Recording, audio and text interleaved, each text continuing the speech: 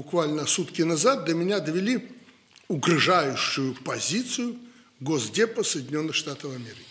Приехали к нашим дипломатам в Нью-Йорке и угрожают нам. Да если вы позволите Путину и России, вы позволите это то, то мы введем санкции. Если вы это ядерное оружие вернете в Беларусь, будет то и это. И, понимаете, менторский какой-то тон в отношении Беларуси.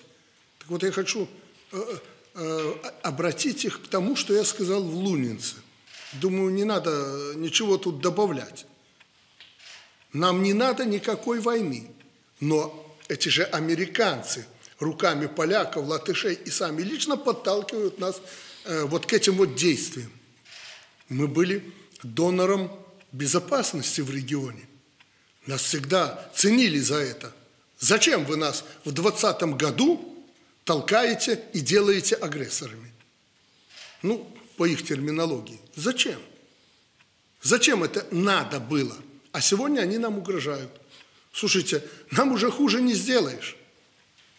Но если вы хотите нас вообще поставить на грань пропасти, ну вы знаете, как мы будем на это отвечать.